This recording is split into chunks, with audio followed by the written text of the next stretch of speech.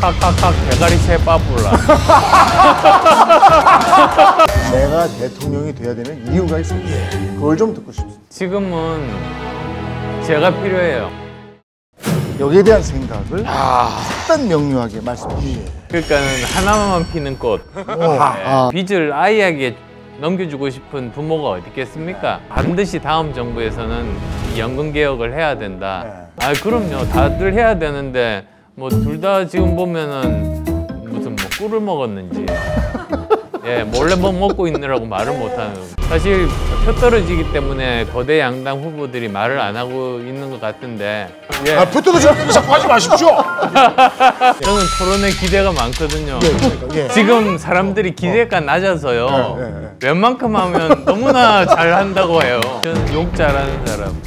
칵칵칵 대가리채 빠불라. 제가 어떤 사람인지 제대로 알리는 일이 필요해요.